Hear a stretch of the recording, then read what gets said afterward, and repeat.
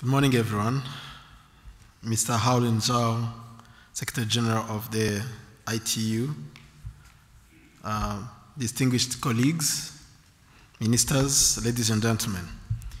On behalf of His Excellency Paul Kagame, President of the Republic of Rwanda, I'd like to welcome you all to this spring meeting of the UN Broadband Commission for Sustainable Development here in Dubai.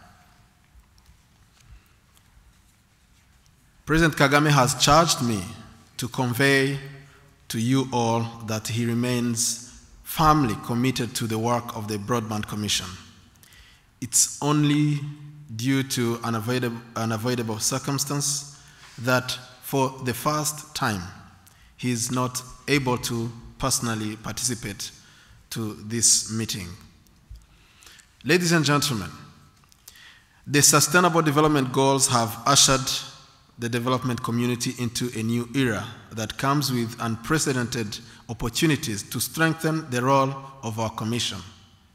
However, we know that no matter how good a strategy is, it remains of little significance if not well executed. We also know from the MDG's experience that country level leadership is crucial. It is in this vein that I believe that the, this commission should build on the success of its Clarion for Country broadband plans and lead a similar drive for national uh, smart SDGs plans as frameworks, from, frameworks for leveraging broadband to achieve the Sustainable Development Goals. Indeed, the world will be smart, village by village, city by city, country by country. We need to build a smart world that is connected, a world that shares and measures. I'm very pleased to inform you that Rwanda has adopted its most recent broadband plan just last November, which also has been aligned with the SDGs. We call that plan Smart Rwanda 2020.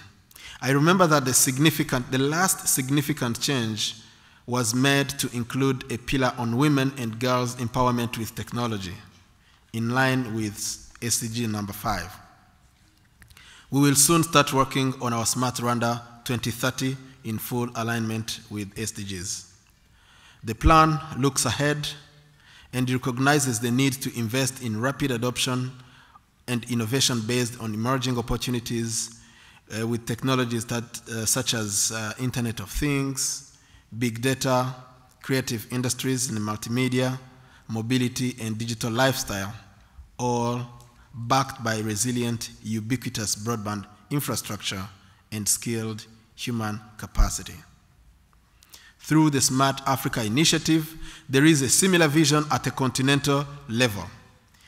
Its headquarters, based in Kigali, is committed to support member countries in partnership with the private sector and civil society to develop and implement similar plans and leverage economies of scale by working together. Ladies and gentlemen, the success of our commission will continue to depend on our focus on a few but catalytic areas. I look forward to the discussions ahead of us today, and in keeping with our tradition, let's make our remarks short and brief and concise so that we can all hear what everyone has to say and get the best fusion of ideas about digital sustainable development. I thank you very much.